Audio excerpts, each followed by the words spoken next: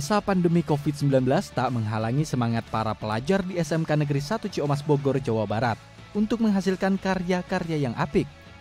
Meski harus belajar dari rumah, mereka tetap bisa mengerjakan tugas-tugas sekolah dengan baik, bahkan membuat film animasi dua dimensi.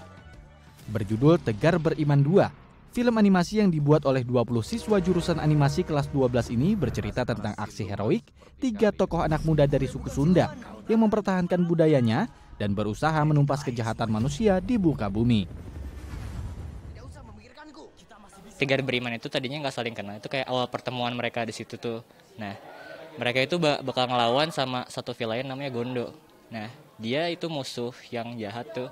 Jadi karena ada dia, si Tegar Beriman itu terpaksa buat nyatuin kekuatan mereka dan mereka harus cari jati diri mereka juga karena si Gondo kayak menyebutkan kalau si Tegar Beriman itu siluman, orang-orang yang punya kekuatan. Tidak mudah membuat film animasi yang menarik.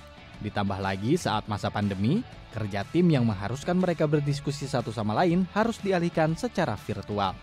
Namun pada tahap penyempurnaan film, mereka terpaksa datang ke sekolah untuk meminjam fasilitas studio. Mereka berdiskusi langsung secara tatap muka selama satu minggu sekali untuk membahas penyempurnaan efek visual dan alur cerita. Walaupun sebagian produksi animasi dilakukan di rumah masing-masing selama empat bulan, visual dua dimensi film ini hampir mirip dengan film animasi Jepang. Teaser film Tegar Beriman 2 yang diunggah di media sosial YouTube pun sudah dilihat oleh 2000 orang lebih. Para guru di sekolah pun mengapresiasi karya siswa-siswinya yang berinisiatif membuat karya bersama-sama.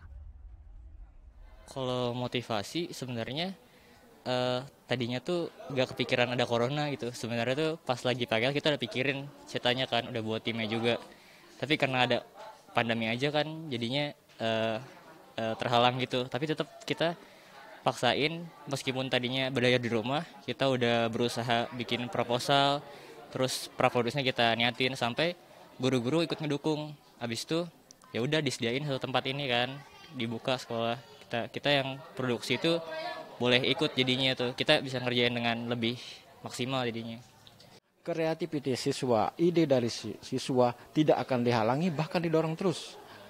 Baik melalui event kegiatan dalam lomba kita harus selalu ikut maupun dalam kreativitas untuk animasi. Animasi ini banyak peluangnya dan syukur alhamdulillah saya di siswa-siswa di SMK Sentucio Mas walaupun dia masih dalam taraf sekolah kadang-kala dia bisa mencari uang.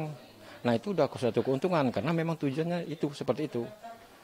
Jadi kita mengarahkan dan tidak pernah membatasi kegiatan siswa. Yang siswa tidak punya fasilitas baik HP maupun misalnya kuota maupun laptop, datang ke sekolah untuk belajar supaya skill itu nggak terganggu walaupun dalam kondisi pandemi. Rencananya film animasi karya anak-anak SMK ini akan ditayangkan pada tahun 2021 mendatang pada film layar lebar. Dibantu oleh para guru, karya siswa-siswinya telah ditawarkan kepada industri perfilman pihak swasta, dan pihak pemerintahan. Fikri Aditama, Budi Wiro Utomo, TV.